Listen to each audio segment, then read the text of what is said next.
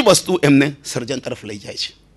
ગાંધીજીના સત્યાગ્રહથી લઈ મહાગુજરાતના આંદોલનો, સમાજવાદ કે ગુજરાતી સાહિત્ય પરિષદ, એ સર્વે સર્વમાં પ્રજાજી, એ પ્રજાજીવનમાં એમનું કર્મ, સાહસ કર્મ હતું.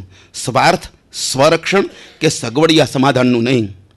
મુંબઈ રાજ્યની ધારાસભાની વાત એમણે કરી એટલે હું નથી કહેતો. પણ સ્ત્રીની આમાન્ય સ્ત્રીની સન્માન શું હોવું જોઈએ એ પેલો પ્રસંગ વ્યક્ત કરે છે. મુંબઈની ધારાસભાનું.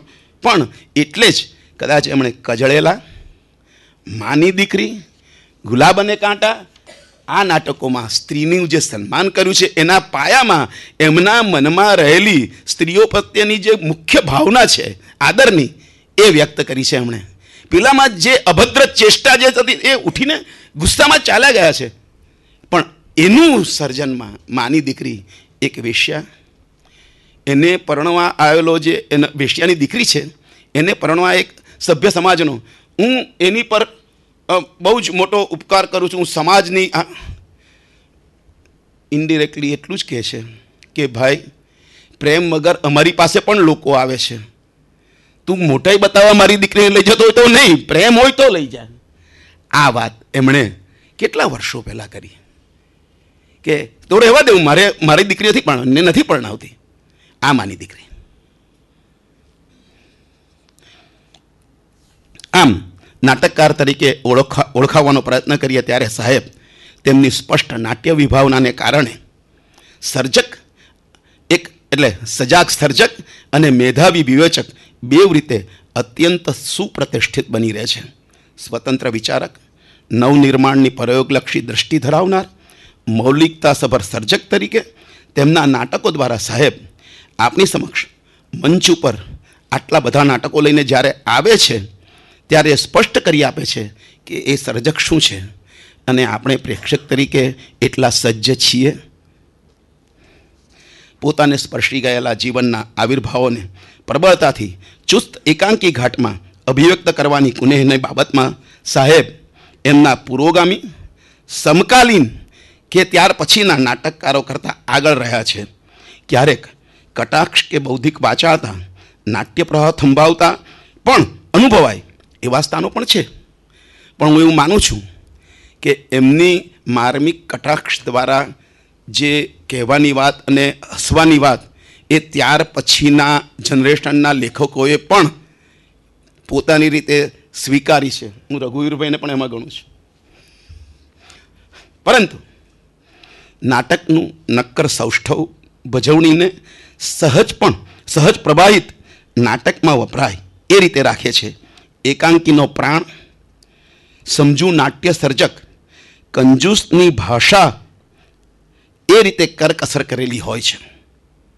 એક પણ વધારાનો શબ્દ એકાંકીમાં અસહ્ય છે. આભાર. આદરણીય વિષ્ણુભાઈ, સાથી વક્તા મિત્રો અને આપ સૌ. વડીલો અને મિત્રો. છેલ્લા વક્તા તરીકે આજે મને ઘણી નિરાશ છે. આમ તો છેલ્લા વક્તાને સમય મળે તો પણ શ્રોતાઓને શિયાળાની વહેલી સાંજ ઢળતી હોય એટલે જવાની ઉતાવળ પણ થોડી હોય.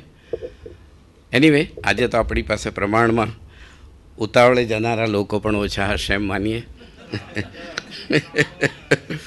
એટલી બધી સરસ વાતો થઈ.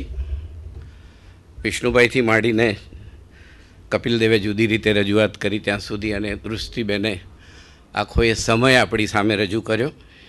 એટલે એ ભૂમિકા ઉપર જ જયંતિ દલાલે વાર્તાઓ અને નવલકથા લખ્યા છે એમણે ઉલ્લેખ કર્યો શહેરની શેરીનો, પગ દીવાની પછી તેથી એમના લેખો, એમના નિબંધો, થોડા રેખાચિત્રો, કેટલીક વાર્તાઓની શરૂઆત એ લખાણોમાં છે. અને એના વિશે થોડીક જુદી વાત પણ નિરાતે કરી શકાય. પ્રજાજીવનની સાથે એ કેટલા મળી ગયેલા હતા અને પ્રજાજીવનને એ કેવી રીતે ભીતરમાં અનુભવતા, એ અનુભવો કેવી રીતે એમને આગળ ઉપર કામ લાગે છે, એ બધી જ વસ્તુઓ આમાં છે. પણ ઉમાશંકર પણ દલાલને સાહેબ કહેતા. એમના પદ્ય રૂપકો બહાર પડ્યા ઉમાશંકરના પદ્ય નાટકો. ત્યારે એ રાહ જોતા હતા કે સાહેબ શું કહે છે? સાહેબનો શું પ્રતિભાવ હશે?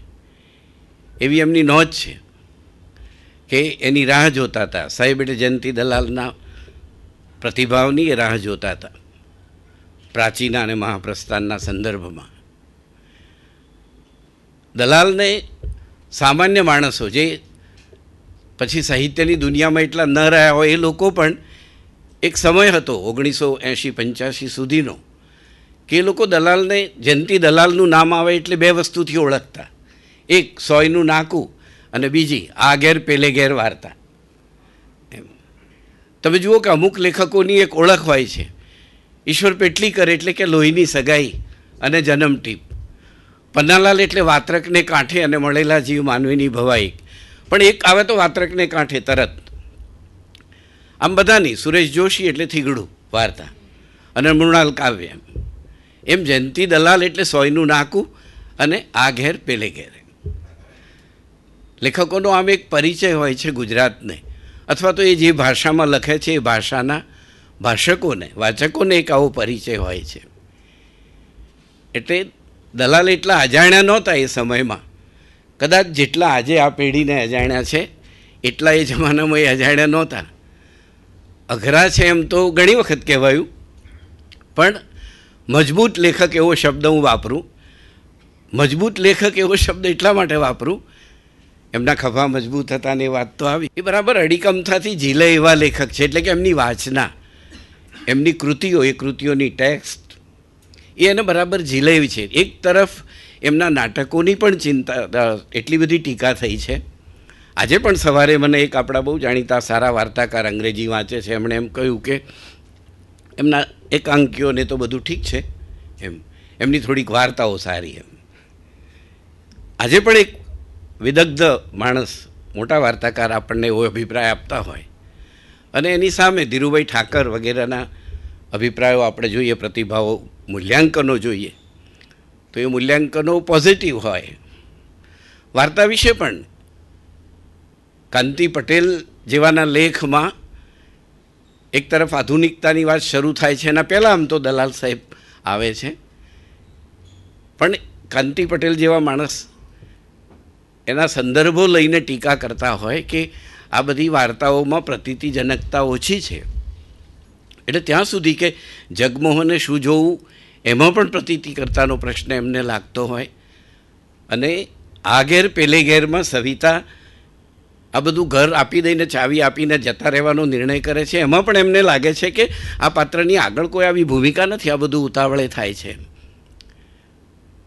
અથવા ગાંધીતોપ જેવી વાર્તાને જયંત પાઠક જેવા મર્મશીલ કવિ, સંવેદનશીલ મર્મ, માર્મિક કવિ, એમ કહેતા હોય કે એક ટૂચકો છે જરા લંબાવેલો.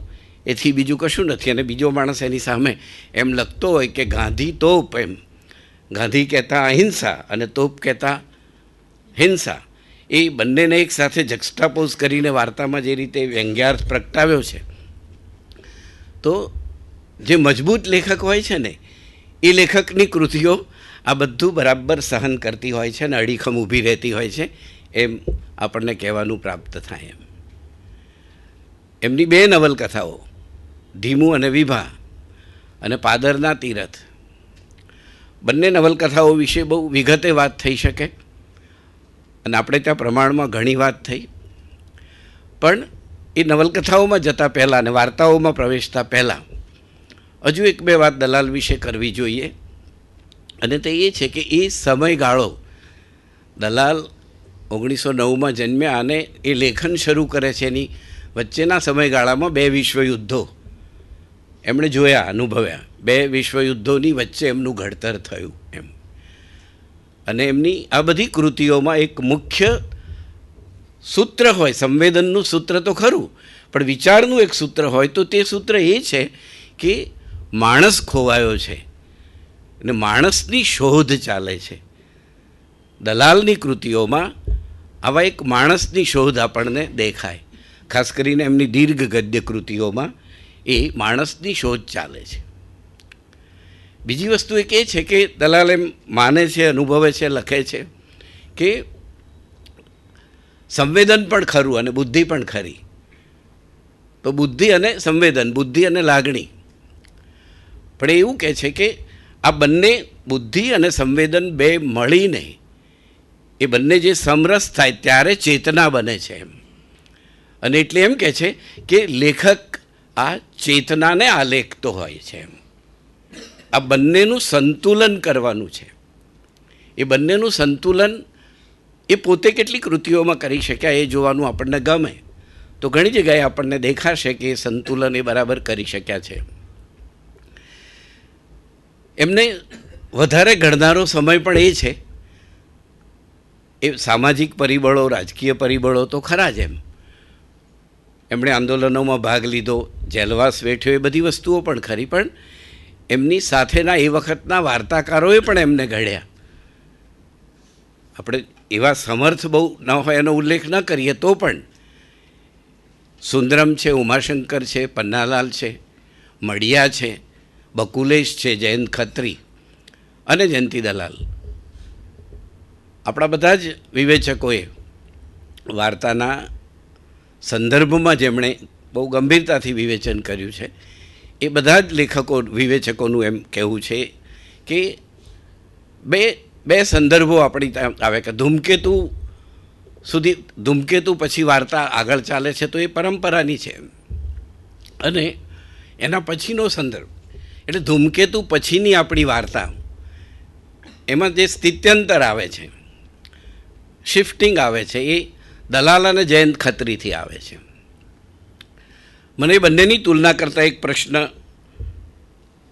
આ વાંચતો તો ત્યારે ખાસ થયો એ છે કે દલાલની વાર્તાઓ કરતાં મને જયંત ખત્રીની વાર્તાઓનું ગદ્ય એમાં ધમાચકડી ન મળે તમને, એક જાતની શાંતિ. પણ જેને તમે એક વિધિ નાખે એવી, એમ ઠંડી શાંતિ, એ તમને દેખાય. માણસોની અંદર પડી ગયેલો એક સોપો સોપો પડી ગયો છે, એક સન્નાટો છે જીવનનો. એ સન્નાટોને, એ સન્નાટાને એમણે કેવા ગદ્યમાં મૂક્યું છે એમ, કેવા પરિવેશમાં મૂક્યું છે એટલે જેટલું શિફ્ટિંગ આપણને જયંતિ દલાલમાં દેખાય, એના કરતાં વધારે વાર્તાને શિફ્ટિંગ મળે છે, એ ખત્રીમાં મળે છે. જયંતિ, દલાલની વાર્તાઓમાં જે શિફ્ટિંગ મળે છે, સ્થિત્યંતર મળે છે, ગુજરાતી વાર્તા પડખું બદલે છે, ગુજરાતી વાર્તા વળું બદલે છે, એ જયંતિ, દલાલમાં બદલે છે, એ માનસશાસ્ત્રીય સંદર્ભોમાં, પાત્રોની મનસ્થિતિને તપાસવી, મનોઘટનાઓનું આલેખન કરવું એમની આ બધી જ વાર્તાઓ, થોડીક વાર્તાઓના નામ આપણે લઈએ અને એમના વાર્તા સંગ્રહોનો ઉલ્લેખ કરીએ કે ઉત્તરા એમનો પહેલો વાર્તા સંગ્રહ છે. અને છેક અડખે પડખે સુધી આવીએ, યુધિષ્ઠિર સુધી આવીએ, ઓગણીસો અડસઠ સુધી. અને વચ્ચે એમના વાર્તા સંગ્રહોમાંથી ગાળેલી વાર્તાઓ ઈશત નામે સંગ્રહ થયો. એની વાર્તાઓ જો આપણે લઈએ તો એમની વાર્તાઓના થોડા બે ભાગ પડી જતા દેખાશે તમને. કે પ્રારંભની જે વાર્તાઓ છે, જે ઉત્તરા અને કથરોટમાં ગંગા અને એ બધી વાર્તાઓ જૂજવા અને કથરોટમાં ગંગા અને એ વાર્તા સંગ્રહો આપણે જોઈએ, તો આપણને લાગશે કે એ વાર્તામાં એ સંવેદનને સમાજની સાથે કસી જુએ છે. સામાજિક પ્રશ્નો, પાત્રની વૈયક્તિક સંવેદના અને સમાજ સંદર્ભ લઈને એ એને કસોટીએ ચડાવતા દેખાશે.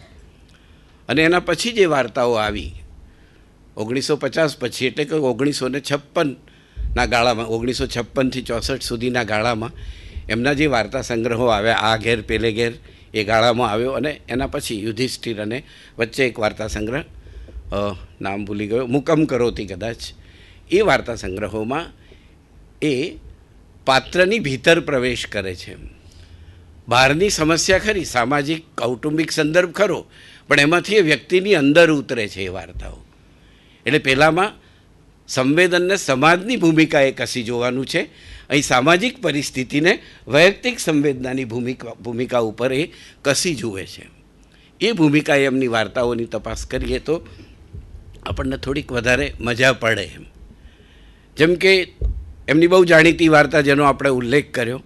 એ વાર્તા આજે પણ આપણને એટલી જ પ્રસ્તુત લાગે. લેખક, જેને આપણે મોટો લેખક કહીએ છીએ એ સમય સંદર્ભ બદલાવા છતાં જીવનના મૂલ્યોના સંદર્ભમાં કેવી રીતે ટકી રહે છે? અથવા તો જીવનની સમસ્યાઓ કદાચ પરિસ્થિતિઓ બદલાતી હશે એમ. પણ જીવનની સમસ્યાઓ તો એની જ રહે છે એમ આપણને લાગે. આ ઘેર પેલે ઘેરની સવિતા એણે પુલિન સાથે આમ તો પ્રેમ લગ્ન કર્યું છે. દીકરો વિક્રમ જન્મ્યો છે. દસ વર્ષનું દાંપત્ય જીવન છે, સુખી છે, કોઈ કોઈ પ્રશ્ન નથી. પણ પતિ મનીષા નામની યુવતીના પ્રેમમાં છે. એની ખબર પડતા બંને વચ્ચે સહેજ તણાવ થાય છે અને એ લોકો જુદા રહેવાનું નક્કી કરે છે. પતિ સવિતાને ઘર આપે છે, ઘરેણાં આપે છે અને દીકરાને પૂછે છે કે તું કોની જોડે રહીશ એમ? એટલે દીકરો એમ કહે છે, બા એના સવિતાને એટલે મમ્મીને બાને કહે છે કે, તારી સાથે રહું તો હું પપ્પાના ત્યાં જઈ શકું એમ? એટલે એ કહે છે કે, ના, તું મારી સાથે રહેતો તું નહીં જઈ શકે ત્યાં. જરા જુદી રીતે કહેતી હશે. અને પપ્પાને પૂછે છે કે, તમારી સાથે રહું તો હું મમ્મીના ત્યાં જઈ શકું? તો પપ્પાએ કહ્યું, ચોક્કસ, તું જઈ શકે. અને આજે આપણે એવા કુટુંબો પણ જોઈએ છીએ, અહીં અને પરદેશમાં આપણા ગુજરાતી કુટુંબો કે જ્યાં પતિ પત્ની જુદા રહેતા હોય અને પતિ દર શનિવારે બાળકને મમ્મી પાસે મૂકી આવે. અને સોમવારે મમ્મી બાળકને પતિના ત્યાં છોડી આવે ને એ બંને જુદા રહેતા હોય એમ. તો એ સંદર્ભ આજે પણ છે, અહીં પણ છે, વિદેશમાં પણ છે. પણ વાર્તાનો વિષય એ નથી. વાર્તાનો વિષય તો જરા જુદો છે. આમાં. આ તો એક વસ્તુ થઈ કે આમ થયું એમ. પણ સવિતાને અચાનક આમ તો વઘાર કરવા માટે વાડકી આમ બધું નાખીને તૈયાર છે ને આમ વઘાર નાખવાનો છે. અને એને વિચાર આવે છે કે પોતે આ કર્યું છે તે બરાબર કર્યું છે એમ. અને એને તરત પછી એની એક બીજી સેલ્ફ, પોતાની એક અંદર રહેલી એક બીજી, બીજો હું, બીજી એક જાત છે તે એને પૂછે છે કે લે, તે શું સારું કર્યું? તે ઘર લીધું, ઘરેણાં લીધા. અને પછી એટલી હદ સુધી એને વિચાર આવે છે કે કોઈ બજારે બેસે ને તું ઘરમાં બેસી છે, શું ફેર છે એમ? એટલે એ ચોંકી જાય. એની એની જ્યારે મૂવી નાની બનાવવામાં આવીને રજૂ કરવામાં આવી, ત્યારે તો ઘણું બતાવવામાં આવેલું કે એ ઘણા દિવસ વિચારે છે. વારે વારે પેલી બીજી જાત આવીને એને કહે છે દર્પણ સામેથી કે તું આમ કર આમ કર. એને તૈયાર કરે છે. એ બધી વસ્તુ એમાં છે. વાર્તામાં એટલી બધી નથી. દિગ્દર્શકે એમાં ઉમેરેલી વસ્તુઓ છે. પણ સારું લાગે છે આપણને, એ ભૂમિકા એમાં છે એમ. કારણ કે કોઈ પણ આવો નિર્ણય કરતાં પહેલાં આને ક્યાં જવાનું છે એને ખબર નથી. એની પાસે એવું નથી કે મા બાપનું ઘર તૈયાર છે ને જવાની છે, એવું તો છે જ નહીં. અને છતાં સવિતા એક ક્ષણે નિર્ણય કરે છે કે આ ચાવીનો જુડો, આ એના ઘરેણા પેટી સુટકેસ અને આ ઘરની ચાવી એ પુલિનને આપીને નીકળી જશે. અને એના હાથમાંથી વઘારની વાટકી, છટકીને છનનન કરતી પડે છે. એ એમ જ રહેવા દઈને જાણે એ પેલી સુટકેસ લઈને દાદર ઉતરતી બતાવી હોય. અને વાર્તા એ રીતે પૂરી કરી હોય એમ. વાર્તા છે ને તે આખો માણસ રજૂ નથી કરતી એમ. વાર્તા માણસનો અંશ રજૂ કરે છે અને અંશની બહુ મજા હોય છે. આખા માણસો તો આપણને વાગતા હોય છે બહુ. એમ. એટલે વાર્તામાં જે અંશ આવે છે ને, એની બહુ મજા પડે છે આપણને. દરેક વાર્તામાં એક અંશ હોય. આમ તો આપણી બાજુમાં બેઠેલી દરેક વ્યક્તિ વાર્તા છે. અને એ વાત કરે તો નવલકથા છે. એના જીવનની વાત માંડે તો એ નવલકથા છે એમ. તો જે સહજતા, મને તો એવું લાગ્યું છે કે એમાં કશું ઓલ ઓફ એ સડન નથી બનતું. બધું પ્રતીતિકર છે અને વાર્તાનો પ્રભાવ આજે પણ મને તો એવો વર્તાય અને એમ મનને સંતોષ થાય, મને અંગત રીતે સંતોષ થાય કે હાશ, સવિતાએ આ નિર્ણય કર્યો એમ. એટલા માટે એ વાર્તા આજ દિન સુધી બરાબર યાદ છે પણ ટપુભાઈ રાતડિયાની વાત, જેનું પ્રવચન સાંભળે છે કે જે વસ્તુ, એ આખી વસ્તુ બરાબર યાદ રહી જાય એટલે પછી બધા પત્રકારો એને પૂછી પૂછીને લખી લેવા માગે. બધું કોણ સાંભળે? એટલે એ બધાને લખાવે ને દરેકને એક જ લખાવે, જુદું ક્યાંથી લખાવે? પણ એ લોકો કે તું જુદું લખાવ. અને જેમ જેમ પેલો, પેલી વ્યક્તિ બોલતી હોય, પ્રવચન કરતી હોય અને એના પ્રવચનમાં જે જે વસ્તુઓ આવતી હોય ને એમાં સત્ય હોય, એની નજીકની વસ્તુ હોય, અને ટપુભાઈના કાન, કર્ણમૂળ લાલ લાલ થઈ જાય તો એ અર્થમાં ટપુભાઈ રાતડિયા. અને એની એને કેવી મુશ્કેલી ઊભી થાય છે તે વાર્તામાં એમણે કહ્યું છે ને એ પત્રકાર જયંતિ દલાલનો જે અનુભવ, એમનું જે અનુભવ વિશ્વ છે, એમાં એમણે જે કટાક્ષ કરવો છે, પત્રકાર જગત અને અખબાર જગત ઉપર, એ વાર્તામાં એમણે કર્યો છે. પણ એમની એક વાર્તા છે, જગમોહને શું જોવું? આંખનો રેટિના બગડ્યો છે અને હવે દેખી નથી શકાય એવું એ આંખે. બધું ઝાંખું છે ને માણસ ડૉક્ટર પાસે જાય છે. અને ડૉક્ટરના ઘરેથી ડૉક્ટરની સલાહ લઈને પાછો આવે છે, એટલી જ ક્ષણોમાં વાર્તા પૂરી કરેલી છે.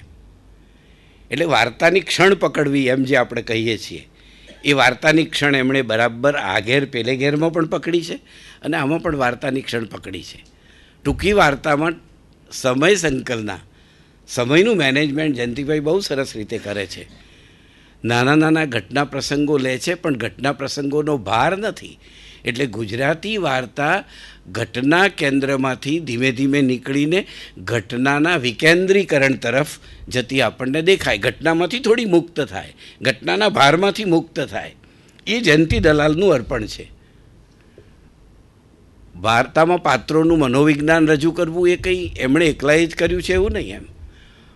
હું તો ધીમું અને વિભાની સરખામણી કોઈક વખતે એટલે પછી મેં એ વાંચી નહીં ફરી પણ મને એવું થાય કે ટાગોરની ઘરે બાહિરે માં ત્રણેય પાત્રો પોતાની જે વાત કરે છે અને અહીંયા બે પાત્રો જે પોતાની વાત કરે છે, તો એની નજીક જોવાનું મન થાય. પણ લગ્નનો સંદર્ભ આપણે જોઈએ, તો લગ્નનો મારે એ વાત તો પછી કરવી છે, પણ વાર્તાની વચ્ચે આવી એટલે ઉલ્લેખ કરી લઉં કે એના કરતાં તો, એટલે આમ તુલનાની દૃષ્ટિએ કહું છું કે પન્નાલાલ પટેલની સાચા શ્રમણા જોઈએ આપણે.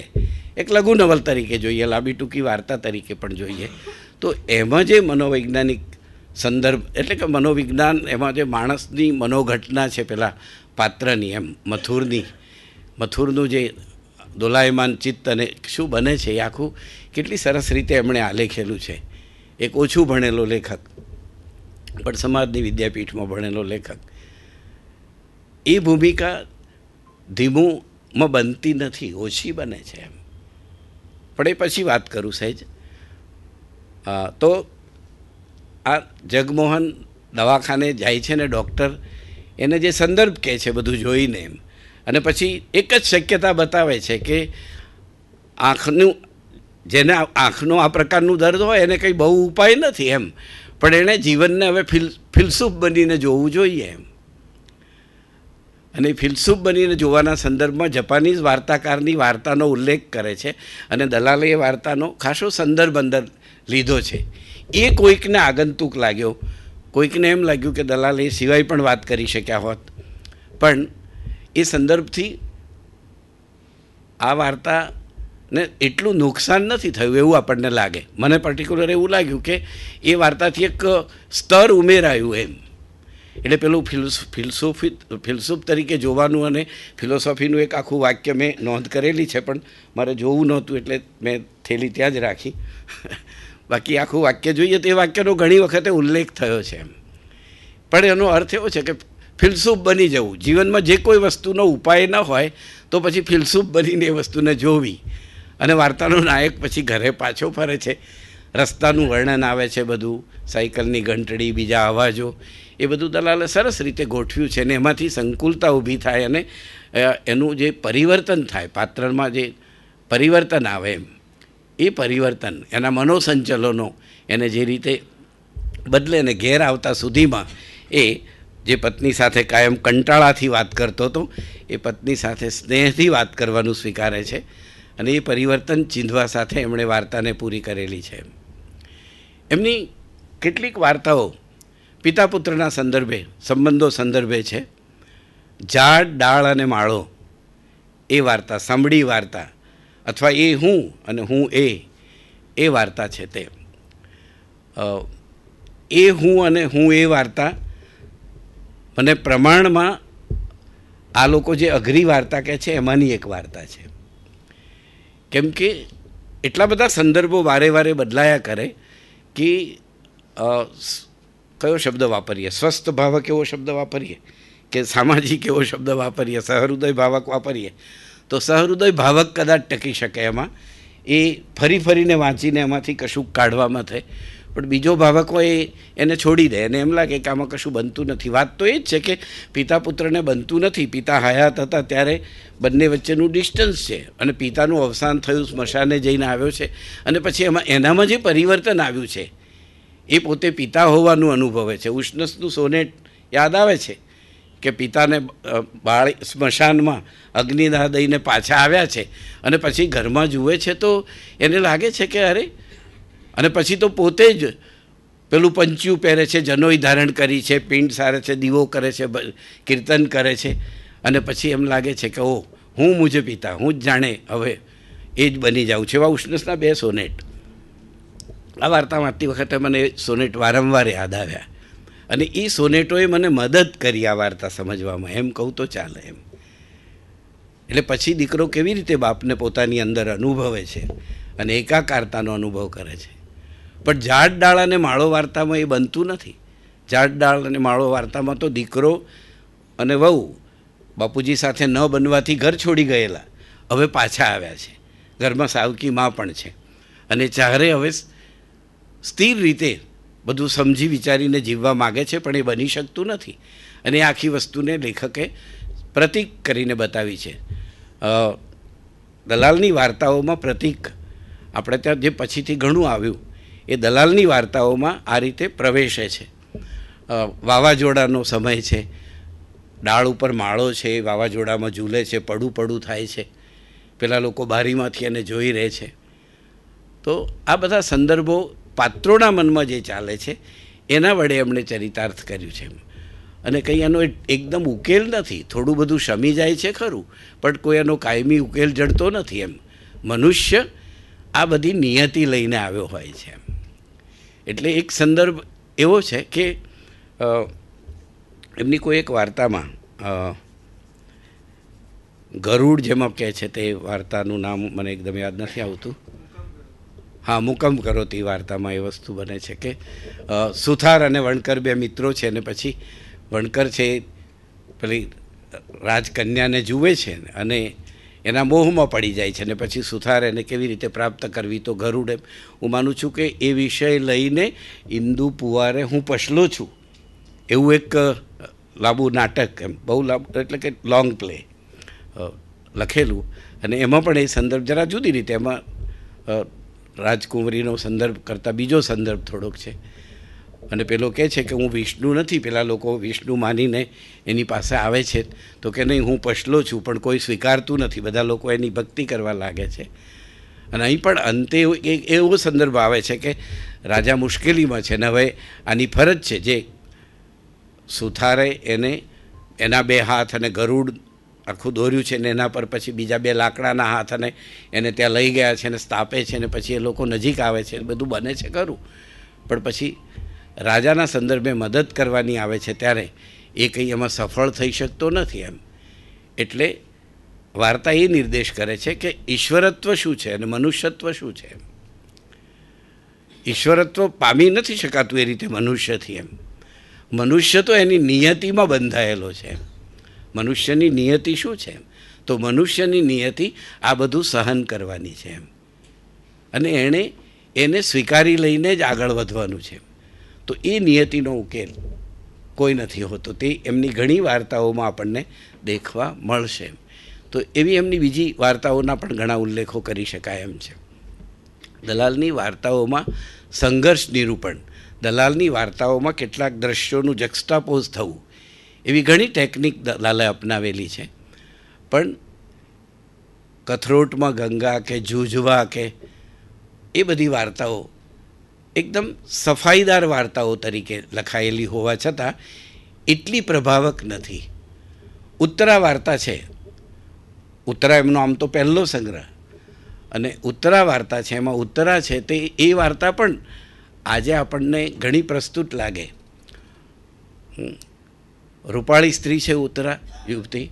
અને અનેક પુરુષોની કામુક દૃષ્ટિથી એ હેરાન પરેશાન છે. એમાંથી બચવા માટે થઈને એ શ્રીધર જોડે લગ્ન કરે છે ને એવું માને છે કે શ્રીધર એને સાચવશે ને એની રક્ષા કરશે. શરૂમાં એ બધું બને છે ખરું, પણ ધીમે ધીમે શ્રીધર પણ એના ઉપર પ્રભુત્વ ભોગવવા માગે છે. એને કયામાં રાખવા માગે છે અને એ શ્રીધરમાંથી પણ છૂટી જઈને ઉત્તરા પોતાના જીવનનો બીજો માર્ગ શોધવા માટે મથે છે. તો આજે એક અસહાયતા છે એમ. એ એ અસહાયતા કોઈ પણ યુગમાં છે, એનો કશો કાયમી ઉકેલ નથી એમ. તમારે સલામતી જોઈએ છે તો સલામતીની સાથે તમારે સપ્રેસ થવું પડશે, કેટલીક વસ્તુઓ સ્વીકારવી પડશે એમ. સમજદારી હશે ત્યાં કદાચ એટલું બધું વેઠવાનું નહીં આવે. પણ મોનોટોની છે, જીવન છે, એ એ રીતે ચાલે છે કે આજે બધું બરાબર લાગતું હોય, એ થોડા વર્ષો પછી આપણને બરાબર નથી લાગતું એમ. એકવિધતા હોય, બીજી વસ્તુ હોય, એનાથી એક કંટાળવાનો અનુભવ થાય એમ. તો એ વાર્તામાં એમણે એ સંદર્ભે વાત કરી એમ. એવી એમની બીજી વાર્તાઓનો ઉલ્લેખ પણ કરી શકાય, પણ હું હવે એમની નવલકથાના સંદર્ભમાં આવું કે ધીમું અને વિભા હું માનું છું કે ઓગણીસો તેતાળીસમાં પ્રગટ થઈ અને પાદરના તીરથ ઓગણીસો ને છેતાળીસમાં પ્રગટ થઈ. એમાં પણ બે વિધાનો પહેલાં કરીએ આપણે, કે ધીમું અને વિભા નવલકથા છે, એમાં જયંતિ દલાલ કેટલેક અંશે પોતાના અંગતની વાત કરે છે એમની એટલે કે એટલા તટસ્થ તો હોય જ એમ, પણ એમની એમનો અંગત અનુભવ, પ્રેમ વિશેના એમના વિચારો આઝાદીનું આંદોલન, એના સંદર્ભો, એ બધી જ વસ્તુઓ એમાં છે. અને એ જાણે ધીમંતમાં દલાલનું એક સ્વરૂપ આપણે જોઈ શકીએ. એટલે એમાં અંગતતા છે. પાદરના તીરથમાં બિનઅંગતતા છે. પાદરના તીરથમાં એ વસ્તુ જ એવી છે કે એ તટસ્થ રહીને એને નિરખે છે ને એનું નિરૂપણ કરે છે એમ. ધીમુ અને વિભાની વાર્તા વાર્તા જેવું એમાં ઓછું, પણ એટલો ઉલ્લેખ કરીએ કે વાર્તા, નવલકથા શરૂ થાય છે, તો એ વખતે વિભાનું અવસાન થઈ ચૂક્યું છે. અને એ રીતે શરૂ થાય છે કે વિભાનું અવસાન થયું એ માટે આસપાસનો સંદર્ભ એમ કહે છે કે એ માટે ધીમું જવાબદાર છે. અને ધીમું પોતે, ધીમંત પોતે એવું માનતો નથી. એને એમ થાય છે કે ના ના, હું એમાં ક્યાં જવાબદાર છું? અને પછી એ જાણે એની કેફિયત આપતો હોય. પોતાનો બચાવ નહીં, પણ કેફિયત આપતો હોય કે આવી આવી આવી આવી પરિસ્થિતિમાં આમ આમ બન્યું એમ. અને એ બધા કેફિયત આપતો હોય એ સંદર્ભ કહે છે એ કથા. પણ વચ્ચે વચ્ચે વિભાને મળ્યા હોય, વિભાનો સંદર્ભ હોય, એ આવતો હોય. તિલુભાભી અને એ છે એનો એનો પતિ. એ લોકો પણ એવું ઈચ્છે છે કે આ બંને જણ લગ્ન કરે. કથા પછી શરૂ થાય છે કે શું બન્યું હતું એમ. અને એ બંને ઈચ્છતા હોય છે કે આ લોકો લગ્ન કરે, પણ એ બનતું નથી એમ. વારે વારે પેલો આંદોલનમાં આઝાદીના આંદોલનમાં જોડાવાનું, જેલમાં જવાનું. એટલે ચાર વસ્તુ એ કહે છે. એક વખતે જાણે ભાષણ આપતો હોય એમ એ ધીમું ધીમું વિભાને ચાર વસ્તુ કહે છે. એક સાથે પાંચ સાત વાક્યોમાં બોલી દે છે કે જો હું કેમ લગ્ન ન કરી શકું એમ? તો એ કહે છે કે, લગ્ન જીવનનો આર્થિક બોજ ઉપાડી શકું એવી મારી કોઈ ત્રેવડ નથી. અને બીજા નંબરે તરત કહે છે કે મેં મારા જીવનનું એક ચોક્કસ ધોરણ નક્કી કર્યું છે. એ ધોરણથી હું સમાધાન ન કરી શકું.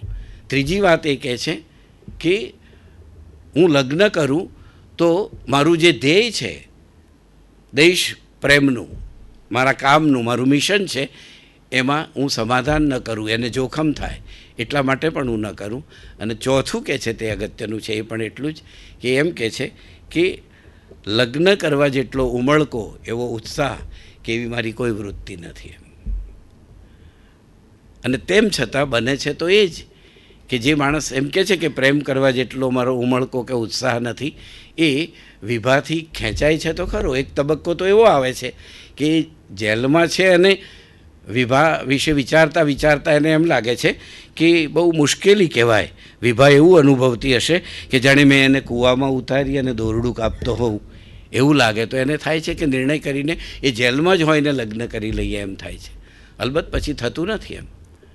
વિભા તો એને બહુ મુક્તપણે. આપણને એવું થાય કે એણે કેટલું બધું વેઠ્યું છે વિભાએ વિભાનું પાત્ર એ પોતે પોતાની વાત તો બહુ ઓછી કહે છે. અને છતાં આપણને એ અનુભવ થાય છે કે એનામાં સ્નેહ છે, સૌહાર્દ છે, આટલું આટલું બધું ધૈર્ય છે એમ. એટલે મેં જ્યારે પહેલી વખતે વાંચી અને હું એ વખતે શરદબાબુ વાંચતો હતો, તો મને એવું લાગેલું કે આ વિભા છે એ શરદબાબુની નાયિકા છે, એવું લાગે એમ. બહુ આંખ ભીની થઈ જાય એવી એક સ્થિતિ. અને પછી એ બીમાર પડે અને લગ્નની એક સ્થિતિ પેલી આવે પણ એ જ પછી તો ના કહે છે એમ. અને વિભાનું અવસાન થાય છે. તો એક બાજુ ઉર્મી છે એમ, પણ ઉર્મિશીલતા નથી એમ. અને નવલકથા આમ પ્રેમની કથા એ નથી બનતી અને બીજી બાજુ આમ જોવા જઈએ તો આંદોલનોની અને બધી વાત હોવા છતાં એ નવલકથા કોઈ શું કહીશું, રાષ્ટ્રીય સંદર્ભની નવલકથા પણ નથી બનતી એમ. એટલે દલાલની એ નવલકથામાં દોલાયમાન સ્થિતિ જે નાયકની દોલાયમાન સ્થિતિ છે, એ દોલાયમાન સ્થિતિનું ઘણું બધું આલેખન છે. એટલે એ નવલકથાની કદાચ એટલી ચુસ્તી નથી જેટલી પાદરના તીરથની છે. પાદરના તીરથમાં બંને વસ્તુઓ છે. એ તમને સુગમ પણ લાગે. એટલે કે સમજાય જલ્દી એવી છે એમ. ધીમું અને વિભામાં તમારે ઘણી વખત એમ થાય કે થોડું પાછા જઈને ફરી વાંચીએ. અને પાછા થોડા પાના જોયા પછી. અને પ્રસ્તાર પણ પ્રમાણમાં ત્રણસો પાના ત્રણસો પાના જેટલી લાંબી નવલકથા છે. ઘટના, પ્રસંગો થોડા કેમ પણ એ એમાંથી કેટલાક ગાળી શકાય એવી વાતો પણ એમાં આવી છે એમ. અને એના કારણે પેલો જે આખો પ્રવાહ છે, એ ઘણી વખતે પાતળો પડતો આપણને, ધીમું અને વિભામાં દેખાય એમ. પણ મૂળ વાત તો પ્રેમની છે કે ધીમું છે એ કોઈ એ ભલે એમ કહેતો હોય કે મારામાં ઉમળકો કે એ નથી, પણ પ્રેમ છે એ એ એનામાં છે જ એમ. અને મારે એ કહેવું છે ખાસ તો કે એ પીડા છે એમ. એનું નામ પીડા છે. એનો અનુભવ એને થાય છે કે પીડા વિનાનો પ્રેમ નથી હોતો, બલકે એને જે પીડા થાય છે, એનો જ એને અનુભવ થાય છે કે આ પીડા છે તે જ પ્રેમ છે. અને પછી એને સમજાય છે કે જો મને આવું થાય છે, તો વિભા કેટલું વેઠે છે એમ પાદરના તીરથમાં, આમ જોવા જઈએ તો એ બેતાળીસના આંદોલનની ભૂમિકા એમાં છે. એક નાનકડું ગામ છે, રેલવે સ્ટેશન છે. અને ગામના લોકોને એવું થાય ને કે રોજ સમાચાર આવે છે કે આ ગામના લોકોએ આમ કર્યું, આ લોકો આંદોલનમાં જોડાયા, આ બધું બન્યું. એનું નાટ્ય રૂપાંતર મેં હઠીસિંગમાં જોયેલું એક વખતે. અને હું માનું છું કે ઈલાબેનને એ લોકો બધાએ કરેલું. અને હું એ વખતે અમદાવાદ આવેલો હતો ને મેં એનું નાટ્ય રૂપાંતર જોયું. એટલે મને એ વધારે સમજાયેલું તરત જ એમ. તો ગામના લોકોને એમ થાય છે કે આપણે પણ કશું કરવું જોઈએ. એટલે ઉતાવળા બનીને અને કશું કરી બતાવવું છે આઝાદીના આંદોલનમાં. એટલે એ લોકો ગામના અને રેલવે બધું લાવ રેલવેમાં જ સામાન જાય છે, આવે છે, સૈનિકો જાય છે, આવે છે, પોલીસ આવે છે, જાય છે. એટલે એ લોકોને એમ થાય છે કે આ રેલવે સ્ટેશનને જ બાળી મૂકીએ તો કેવું એમ? એટલે એ લોકો રેલવે સ્ટેશનને સળગાવી દે છે. અને પછી જે જુલમ એમના ઉપર થાય છે, એ જુલમ એમાં નિર્દોષ લોકોને પણ માર પડે છે, દોષિત લોકોને પણ માર પડે છે. ભીરુ લોકો જે એમાં નહોતા જોડાયા, એમને પણ માર પડે છે. અને જે લોકો હિંમતવાળા હતા, એમને માર પડે છે. વાસના, પેલા લોકોની જે જોહુકમી સત્તા અને વાસના એ બંનેનો બહુ વરવો અનુભવ ગામના લોકોને થાય છે. રેલવેનો ડબ્બો છે, એ ડબ્બામાં આ લોકોને ભરીને પણ એમના પર જુલમ કરવામાં આવે છે.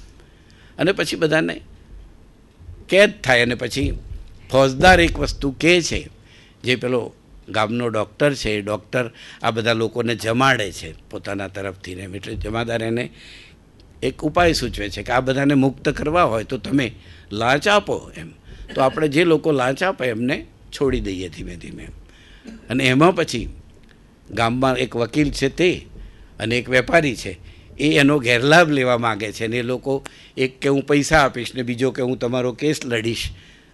અને એમ કરીને એ લોકો કેવી રીતે આખી વસ્તુ ગોઠવે છે ને થોડાક લોકો છૂટા થતા જાય એમ. આ ગામમાં આવેલો એક પેલો છોકરો યુવાન અને એ ખરા અર્થમાં આંદોલનમાં જોડાયેલો છોકરો છે, જગદીશ જગુ. એની માં પશી ડોશી એમ. અને એને એમાં પકડેલો છે અને એ બંને વિરોધ કરે છે. જગુ અને પશી ડોશી કે નહીં, અમારે લાંચ આપવી નથી અને લાંચ આપીને છૂટવું નથી એમ. પણ પેલા લોકો એક પછી એક છૂટતા જાય અને છેવટે લાંચ લીધા વગર પણ જગદીશ જગુને મુક્ત કરવામાં આવે છે. કોઈ અકળ કારણથી ત્યાં નવલકથાને પૂરી કરેલી છે.